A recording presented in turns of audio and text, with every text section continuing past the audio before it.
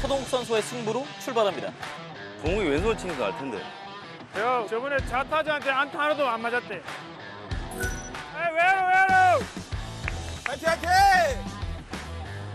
자 여기서 하나 놓자 끝난다. 놓으면은 긴장된 더가웃의 모습. 과연 윤영철이 해결할 수 있을지. 초구에 방망이 돌아갑니다. 오케이 좋아. 막아야지.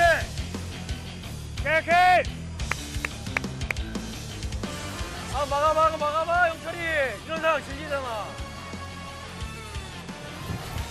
오케이. 빗맞은 타구 뒤로 가면서 스트라이크 2가 됐습니다. 일사 만루에서 점수 안 나면 또 1회 말에 위기 올 수도 있어. 그래서 점수 나야 돼. 야 점수 내야 된다 있어. 윤영철 선수도 굉장히 좀 떨리는 상황이에요. 근데 초구 이구를 다 스트라이크 잡았어요. 결국 이제 윤영철 선수가 해야 되는 건요. 여기서 최대한 비슷한 볼을 던져야 되거든요. 제구가 이런 상황에서 되냐입니다.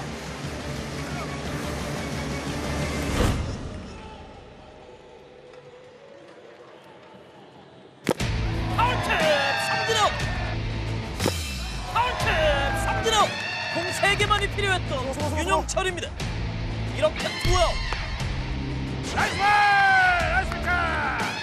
그래 윤영철이.